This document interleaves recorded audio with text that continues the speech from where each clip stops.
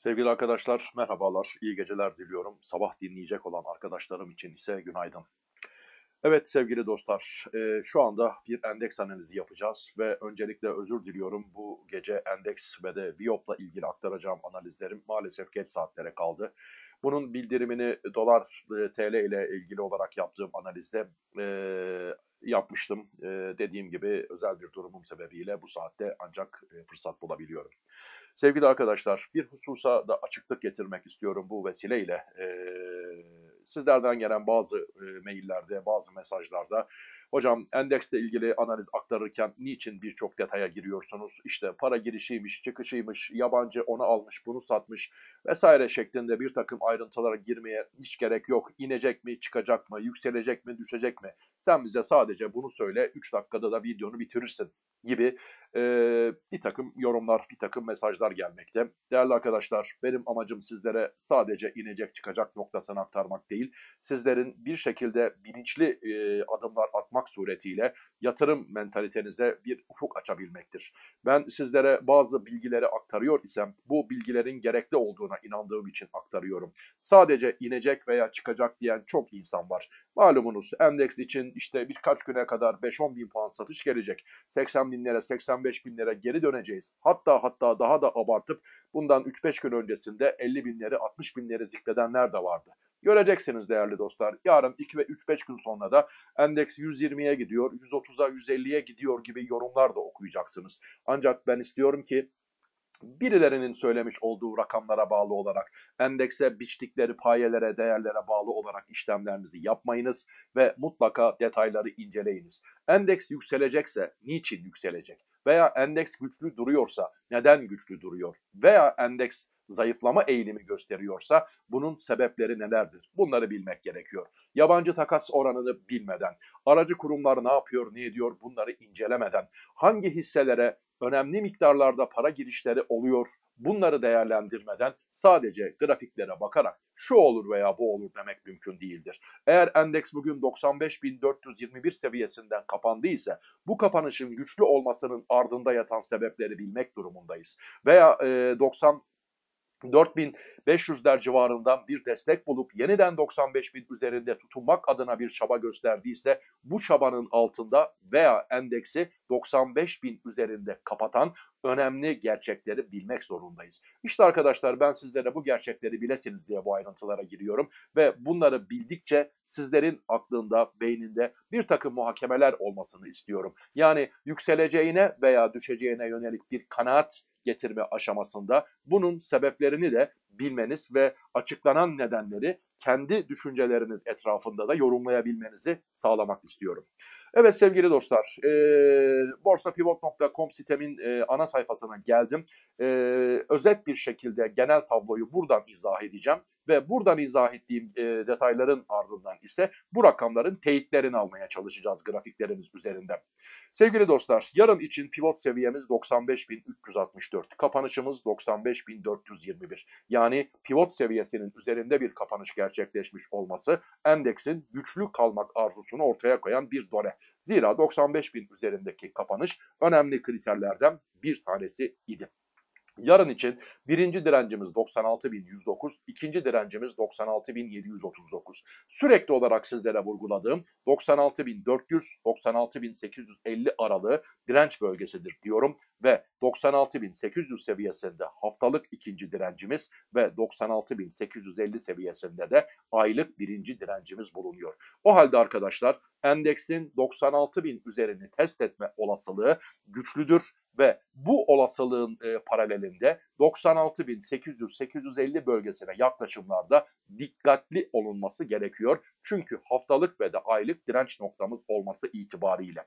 Bu direnç noktasından net ve kesin olarak dönüş olacaktır diyebilir miyiz? Elbette ki diyemeyiz. Bundan emin olmak mümkün değildir. Bu direnç aşılacak olursa 96.800-850 bölgesindeki direnç belki yarın belki e, yarın bu seviyelere bir yaklaşım olup ardından 96.000 civarlarında bir kapanış olup sonraki gün e, yukarı eğilim devam edebilecektir. Bundan emin olmak mümkün değildir. Ancak 97.500 seviyesi de artık önümüzde ihtimal dahilinde olan, görülmesi ihtimal dahilinde olan bir seviye konumunda. Ne zamanki 96.800-850 bölgesinin üzerinde net kapanışlar yapmaya başlarız. Bu durumda 97.500 seviyesinin test edilmesinin ardından 96.800-850 bölgesi bir destek olarak geri dönüşlerde çalışır ise o zaman da 99.200'lerden e, söz etmemiz veya 100 bine yaklaşıyoruz şeklinde ifadelerde bulunmamız mümkün olabilecektir. Değerli dostlar, 93.600 seviyesi bu haftanın pivot seviyesiydi ve bu pivot seviyesinin üzerinde kalmakla 96.800 seviyesine yakın noktalara ulaşıyoruz. 96.200'ler görüldü ve bu seviyeye yaklaşmış konumdayız. Ee, bizim yarın için özellikle dikkat etmemiz gereken seviye 94.700 üzerinde tutunabilmek ve özellikle biraz sonra e, seanslık grafiklerimde de göreceğiniz üzere 94.200 seviyesinin aşağısına gelmemek. Bu seviye çünkü artık seanslık anlamda daha erken uyarı alabilmek için seanslık grafikleri takip ediyoruz. Seanslık anlamda önemli bir destek konumunda olacaktır. Yani 94.700 seviyesine kadar geri çekilmeleri normal karşılayabiliriz. Ancak bu seviyenin aşağısına gelinecek olursa 94.200-94.300 aralığı çok net bir şekilde takip edilmesi gereken destek ve de tepki noktası olarak korunması gereken bir seviye özelliğindedir. Şimdi arkadaşlar Elimizdeki donelerimiz e, şu an itibariyle bunlar görünmekte. Bir başka donemiz ise değerli dostlar yabancı takas oranında artış eğiliminin devam ettiğini görüyoruz. Zira 64, %64, 69, %64, 70 seviyelerine ulaşmış durumda 0.12'lik haftalık bir artışın olduğunu görüyoruz. Yani değerli dostlar yabancı satmıyor, takas oranında artış devam ediyor. Çok büyük bir artış mı? 0.12 e, çok olağanüstü bir artış değil ancak en azından %64 üzerindeki konumunu gittikçe güçlendiren bir eğilim içerisinde. Asıl önemli konu ise endeksin yükselişine paralel bir şekilde yabancı takas oranı da artıyor.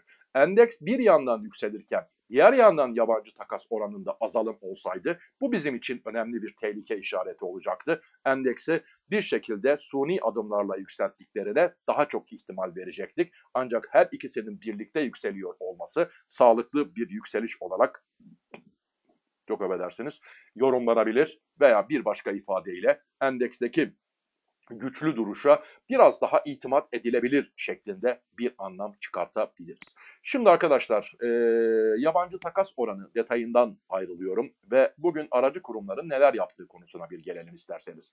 Aracı kurumlara baktığımız zaman sevgili dostlar bugün daha doğrusu dün diyelim artık e, 25 Haziran tarihi itibariyle Alıcılar ve satıcılar arasındaki farkın 13,5 milyon civarında olduğunu görüyoruz. Yani satıcıların çok az miktarda üstünlüğü varmış. Zira bugün de 96 bin seviyesi test edildi. Buradan gelen satışlar ardından bu miktarda bir e, farkın oluşması makul denilebilecek olan bir miktardır. Ve bir diğer yandan ise alıcılar cephesinde TEB yatırım, Merrill Lynch gibi e, yabancıların lehine işlem yapmakta olan kurumların ön planda olduğunu görüyorken satıcılar cephesinde ise yapı krediyi 46-47 milyon TL ile satışta, kreditin ise 38,5 milyon TL civarında satışta olduğunu görüyoruz. Ama yabancı kurumlar içerisinde ki o bildiğimiz Merrill Lynch gibi, Deutsche gibi, City gibi kurumların satıcılar cephesinde olmadığını görüyoruz. Evet diğer cephede 83 milyon TL civarında başka kurumların yapmış olduğu ilk 5 kurumun dışındaki kurumların yapmış olduğu satışlar var ama şuraya baktığımız zaman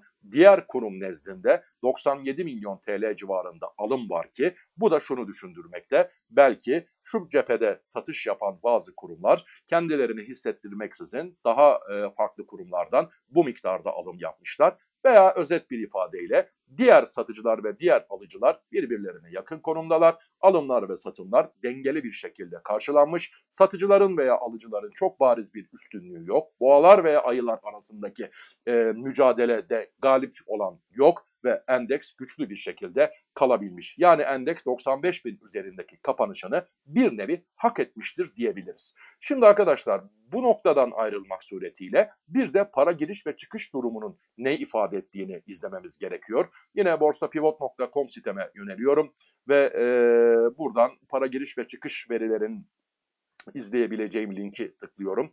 Ee, ve arkadaşlar en çok para giren hisselere bakmak istiyorum. Onların sıralanmasını istiyorum. İşçiyenin 14 milyon civarında, Halkbank'ın 11 milyon TL civarında bir para girişi olmuşken bugün bankalar biraz zayıf kalmış ve bankaların ardından ikinci e, çaba içerisinde olan, bankaların hızlı olduğu günlerde e, sanayi hisselerinin biraz daha sakin kaldığını e, ifade ediyordum. Bu bugün biraz Koç Holding gibi, TT.com gibi, Pegasus gibi, Ereğli gibi, Türksel gibi sanayi hisselerine de bir ilginin oluştuğunu görmüş bulunmaktayız. Ana kural arkadaşlar önce bankalar gider ardından sanayi hisseleri takip eder veya holdingler takip eder. Tersi durumda da önce bankalar ardından holdinglerde satışlar yoğunlaşır şeklinde bir ritüel vardır. Borsayı uzun zamandır takip edenler bunu bilirler zaten.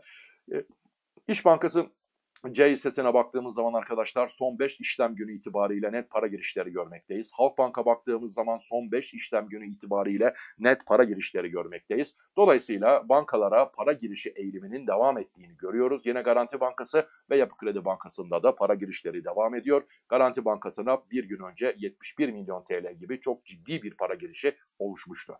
En çok para çıkan hisselere baktığımız zaman ise arkadaşlar karşımızda Akbank'ın 11 milyon TL gibi bir para çıkışı yaşadığını görüyoruz ama e, son 5 işlem günü dikkat aldığımız zaman 35 milyon TL civarında bir para girişi oluşu bugünkü 11 milyon TL gibi çıkışın çok da büyütülecek bir rakam olmayacağı ifadesini gündeme getirebilir. Soda'da, Türk Hava Yolları'nda ve Sabancı Holding'de gibi satışların sıralandığı hisseleri görmektesiniz. Arkadaşlar bu tablo genel anlamda bankalara olan para girişi eğiliminin devam ettiğini, zira bankaların endeksi taşıyan hisseler özelliğinde olması nedeniyle de bankalara olan para girişi eğiliminin devam etmesinin de endeks adına bir diğer önemli faktör olabileceğini düşünebiliriz.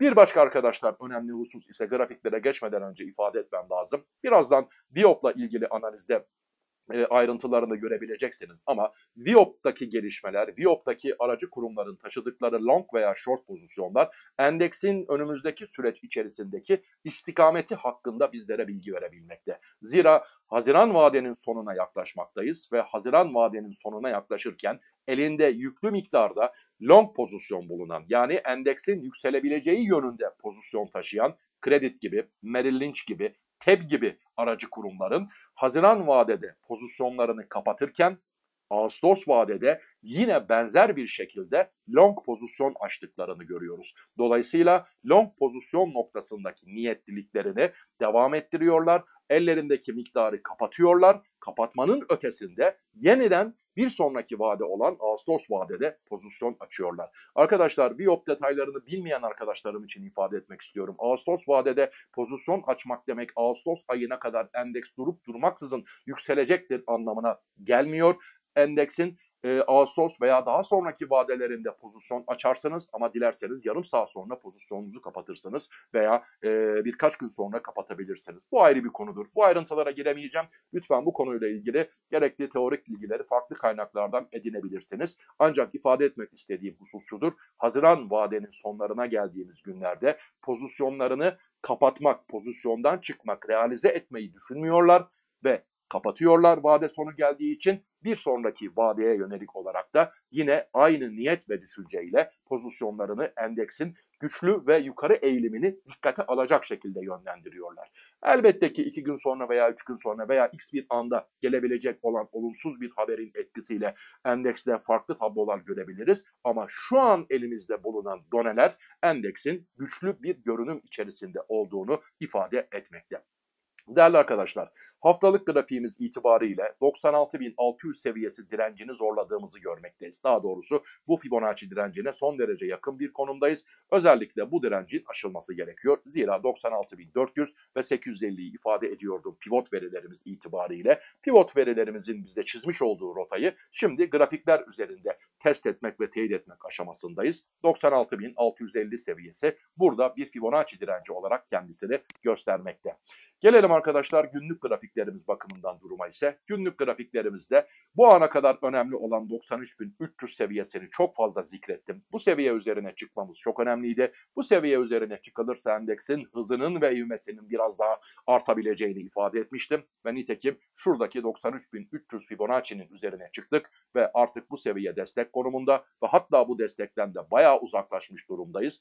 Genel manada kısa orta vade adına birkaç haftalık süre içerisinde geri çekilmelerde 93.300'ün aşağısına gelinmiyor ise bu durumda endeksteki realizasyonların normal karşılanabilecek kar satışı olduğunu düşünebilir ve bu seviyelerden destek bulabileceğimizi 93.300'deki şu destekten e, tepki bulabileceğimizi düşünmek suretiyle makul düzeltmeler ardından 100 bine doğru yaklaşımların devam edebileceğini düşünebiliriz. Nasıl düşünebiliriz? Endeksteki olası realizasyonlara rağmen 93.300 aşağısına gelinmiyorsa. Değerli arkadaşlar e, yarın için pivot seviyelerimizi az önce ana tablodan ifade etmiştim ama 95.363 seviyesi yarın için arkadaşlar pivot seviyemizdir. Bu seviyenin aşağısına gelinmelerde 94.700 seviyesine kadar gelebiliriz. Bu seviyeye kadar gelinmeler, geri çekilmeler normal karşılanabilir ama genel manada 94.200-300 bölgesi çok önemli. Birazdan e, seanslık grafiklerimizde bunu da göreceğiz. Yukarı hareketlerdeyiz arkadaşlar. Bugün 96.000 seviyesini bir kez daha zorladık. Önceki gün 96.200'den bir geri dönüş olmuştu. Eğer ki yarın 96.100 üzerine çıkar ve 96.100 üzerinde bir 2 saatlik görüntü oluşabilir ise ve hatta 96.100 üzerinde bir ilk seans kapanışını yaşayabilir isek 96.850 direncinin yarın zorlanabileceğini, bu seviyenin test edilmek adına bir çabanın oluşabileceğini izleyebiliriz. Ancak 96.850'ye yaklaşımlar ardından geri dönüşlerin 96.000 üzerinde karşılanabilmesi büyük bir önem taşımakta. Gelelim arkadaşlar Az önce ifade ettiğim seanslık grafiğimize. Seanslık grafiğimizde arkadaşlar oluşan bir yükselen trend kanalı mevcut. Ve bu trend kanalımızın e, şu an için alt noktası, destek noktası 94.225 seviyesi. Yani seanslık kapanışlarımız 94.225 seviyesinin aşağısında olmadıkça şu destek noktasına, kırmızı destek noktasına bir başka ifadeyle 94.225 seviyesine yaklaşımlarda tepki bulabiliyorsak veya en fazla buraya kadar geri çekilip de ardından bir tepki oluşuyorsa bu yükselen kanalın devam edeceğini düşünebiliriz. Bu yükselen kanalımızın arkadaşlar şu an için belirtmiş olduğu tepe noktası 98.000 seviyesine işaret etmekte. 98.000 seviyesine solukluk gidebilir, soluksuz gidebilir miyiz? Tabii ki piyasalarda her şey olabilir ama biz yine de 96.850 direncine yakınen dikkat edelim. Şayet bu direnç aşılır ise bu durumda 97.500 ve 98.000 seviyeleri de konuşabilir duruma geleceğiz. Arkadaşlar kanal direnç, e, kanal içerisinde hareket edilmesi ve bir yükselen kanalın oluşması sebebiyle bu seviyeler her gün değişecektir. Her seans sonucunda değişecektir. Bunları endeks analizlerinde sizlere vereceğim. Yarın için arkadaşlar dikkat etmemiz gereken kritik alt destekler ve üst destekler 94.225 ve 98.055 seviyesi olarak görülmekte. Değerli dostlar endeks hakkında şu an için söyleyebileceklerim bunlardan ibaret olup e, endeks analizleri için e, yarın gece tekrar buluşmak üzere diyorum. E, birazdan Viop kontratları, Haziran ve Ağustos kontratları ve Viop dolar, Haziran ve Temmuz kontratları ile ilgili olarak da yaklaşık bir saat içerisinde e, yeni bir analiz aktarmış olacağım. Hoşçakalınız, selam ve sevgilerimle.